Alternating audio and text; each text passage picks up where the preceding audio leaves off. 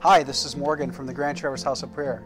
I have a very special announcement to make, but before I do that, I just wanted to say thank you to everyone that's sown into this ministry, specifically our last prayer strike. Over the course of 24 hours, we had over 12 churches and ministries join with us, worship Jesus, and pray for this region. But right behind me over here, we had a special donation come in and we were able to buy a computer, a switcher, as you know, a lot of the infrastructure that was able to help us web stream our last prayer strike. We're part of the way there. We're almost there to get a really good quality web stream. If you tuned in, you know there were some technical difficulties. Here's what we need. This is the special announcement.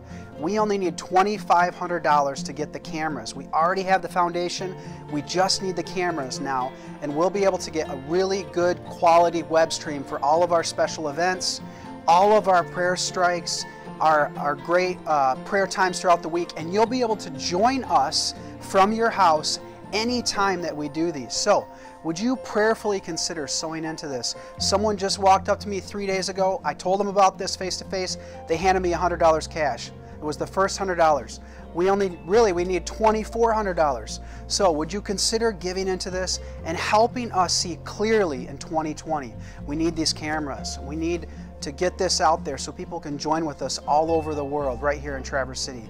Thank you so much. Consider joining us in this endeavor, and thank you to everyone that's already given to us.